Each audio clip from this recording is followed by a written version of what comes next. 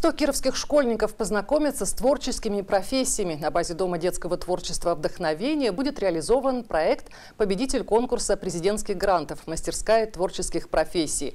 Старшеклассники вместе со специалистами подготовят к Новому году представление для всего города. Как будет все выглядеть, расскажет Елена Шарыгина.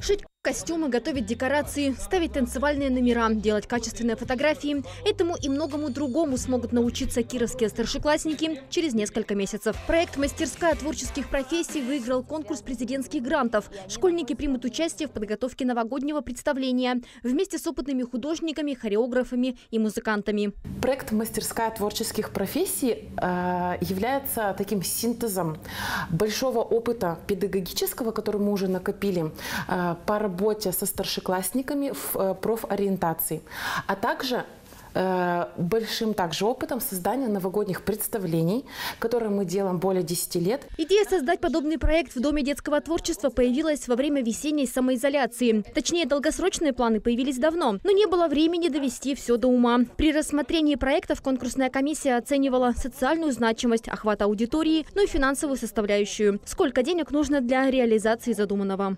Сумма в грантовой поддержке была 900 тысяч.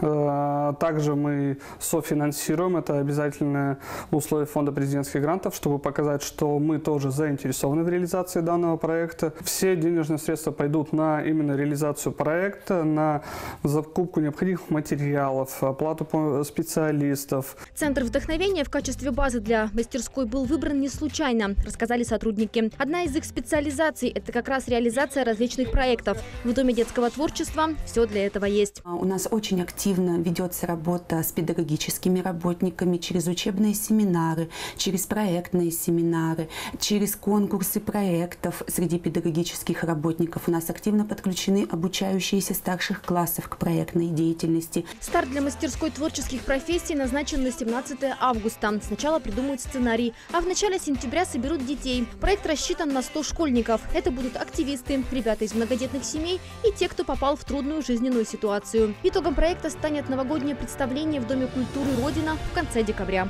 Елена Шарыгина, Александр Брюзгалов, Бюро новостей Давича.